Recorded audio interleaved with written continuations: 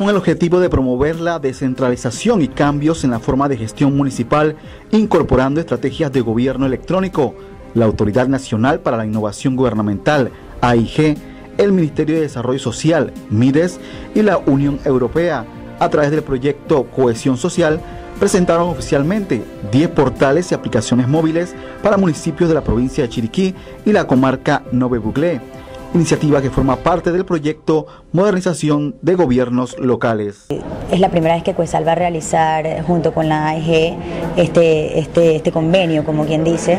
y es donde vamos a poder brindar que los municipios puedan abrir una ventana al mundo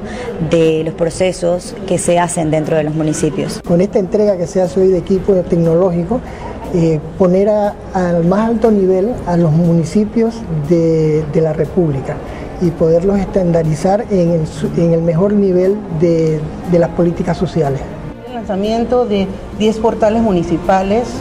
eh, son 12 municipios del proyecto de cohesión social, pero dos ya pertenecen al proyecto de modernización de gobiernos locales. Este proyecto que nosotros tenemos en la IG desde hace más de cuatro años, lo que hace es ayudar a los municipios a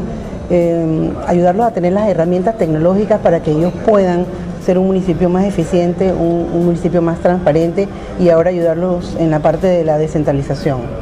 Esto sobre todo es con internet. Sí, son portales municipales donde ellos van a poner toda la información sobre el municipio, en la parte de turismo, la parte de transparencia, darse a conocer a través del internet. Y también tenemos los aplicativos móviles que van a permitir acceso a todos los ciudadanos a nivel nacional e internacional que a través de los aplicativos móviles, esos celulares, puedan tener acceso a estos portales, que van a tener información importante al ciudadano, no solamente lo que le comenté, sino que también la parte de los trámites, los requisitos y todo lo que se quiere, todos los servicios que se dan en el municipio.